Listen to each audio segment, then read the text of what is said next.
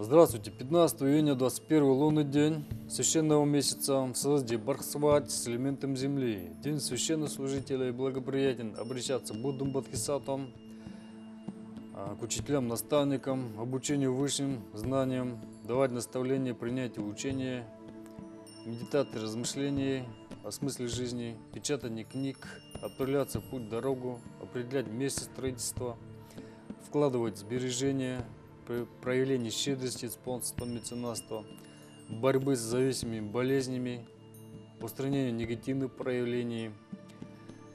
День неблагоприятен, дислокации войск, подписание контрактов соглашений, давать обещания, сотосты. Благоприятен для людей, родившихся год, коровы, змеи, неблагоприятен годам, лошади, мыши, зайца. На верхней березочке даю, диважен дуане, очуване сунды, дынкур дуане, Богом искусственным. Верьте в себя.